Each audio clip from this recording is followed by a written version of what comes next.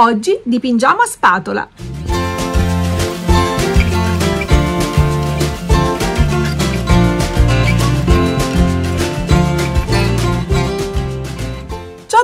Benvenuti da Ombretta su Arte per te. Molto spesso mi chiedete di dipingere a spatola. Oggi vi faccio vedere quanto è semplice farlo. Dipingeremo a spatola con gli acrilici.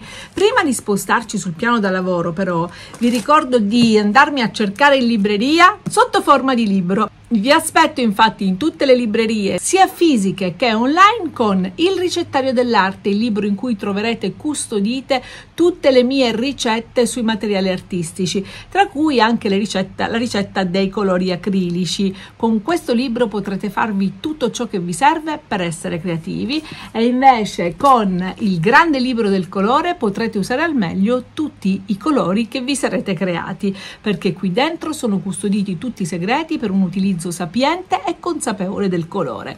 Vi aspetto in tutte le librerie sia fisiche che online. Ma adesso basta parlare, spostiamoci di là e andiamo a dipingere.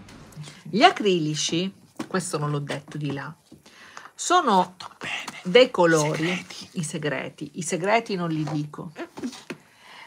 Allora, dovete sapere che per dipingere si usano i colori e voi direte, Ah, ma davvero? Ma questo lo sapevo pure io prima di cominciare il corso. Bene, ma voi dovete sapere che i colori si accoppiano in due modi, o per armonia o per contrasto. Detto ciò, però, una cosa è molto molto importante. Ci sono dei colori che si prestano più di altri per determinate tecniche pittoriche eh, eh, per determinati mh, mm, modi di utilizzare la tecnica. Guardiamo la tavolozza di stasera. Bian- giallo, bianco, rosso, blu e nero. Cosa notiamo?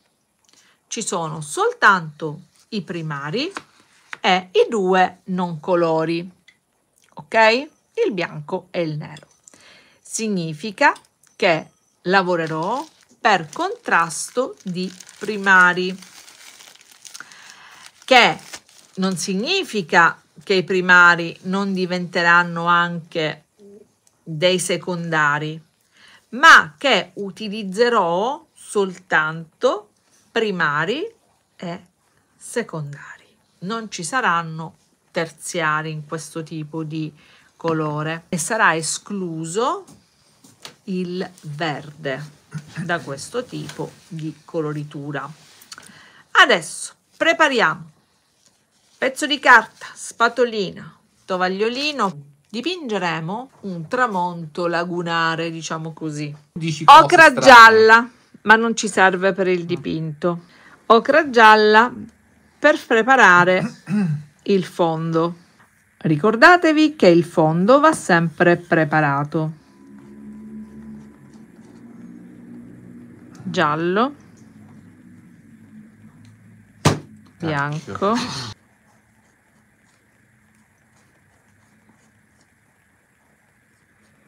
vi sta facendo l'ocra? Ecco l'ocra. Pazzesco, bellissimo. È, è, diversa da questa perché sono partita da un giallo diverso. Mm. Diciamo che quella che ho usato prima non era partita da un giallo primario. Ecco ma da un giallo cadmio. Ma comunque l'ocra è più questa che non questa, se proprio vogliamo essere troppo, troppo, troppo volete sapere. Ecco, bello questo colore. Proprio ah, ocra. Ah, questo è più bello, mi piace. Ocra, ocra. Mi piace, dà un'atmosfera, più atmosfera. Comincio a fare i miei colori. Allora prendo Adesso dobbiamo stare attenti perché lavorando con tutti i primari, se li misceliamo tutti e tre assieme, cosa succede? Cosa succede se misceliamo tutti e tre i primari assieme? Si forma il marrone? Si forma il marrone. Quindi dobbiamo fare in modo che i primari si incontrino a due a due. E adesso comincio a creare il cielo.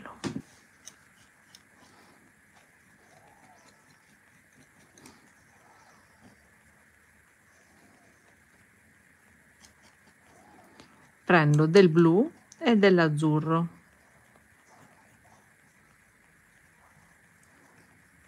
E lo mischio. Ok? Una punta di nero e mischio.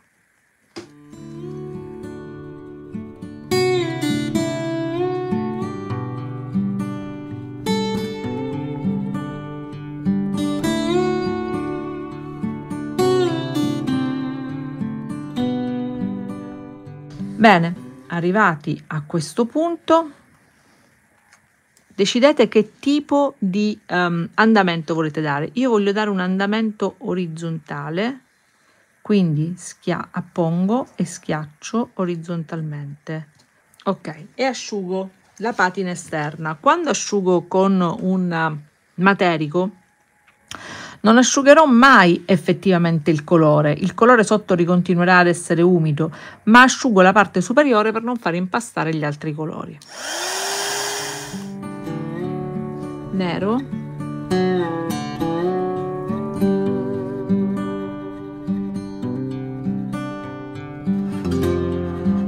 Prendo il rosso e lo impasto con un po' di blu. Questo punto non c'è più il giallo.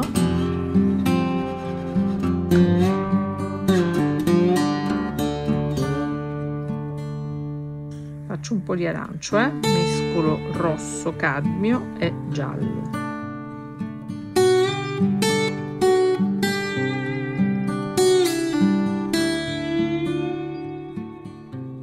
Sto prendendo il giallo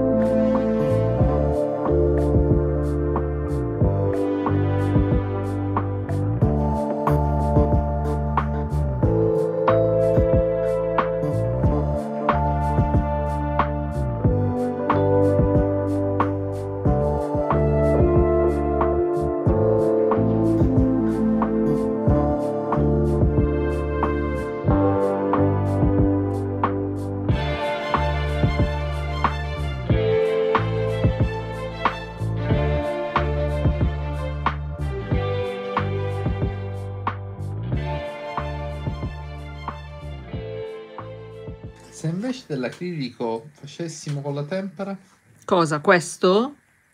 la texture darebbe un'atmosfera diversa? No, la tempera si sgretolerebbe. Mm, certo.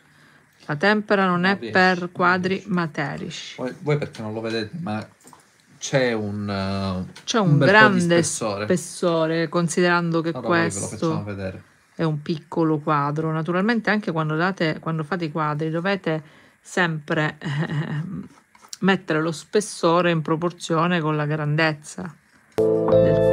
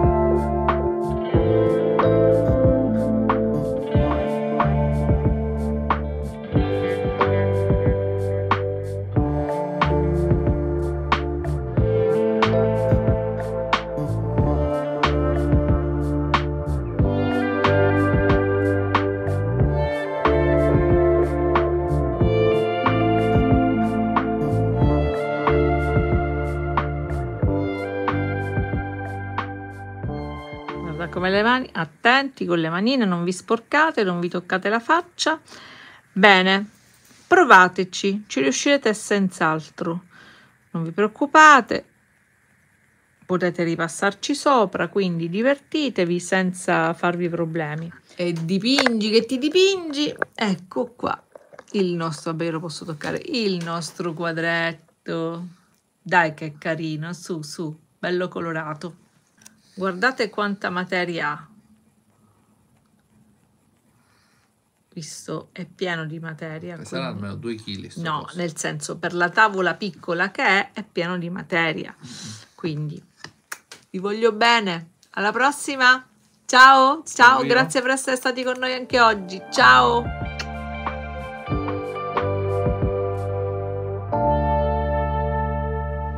Visto che bel tramonto pieno di colori, davvero bellissimo e come sempre il nero e il bianco e i colori chiarissimi poi creano quel eh, contrasto che rende meraviglioso qualunque quadro. E allora sbizzarritevi con spatole e creatività e lasciatemi un pollice in su e condividete il video se vi è piaciuto. Noi ci vediamo anche su tutti i miei altri social, Facebook, TikTok, Instagram, Pinterest, dove volete c'è arte per te, anche su X. E invece vis-à-vis ci diamo appuntamento sempre qua per un prossimo video creativo. Da Ombretta e da Arte per te è tutto, alla prossima volta, ciao!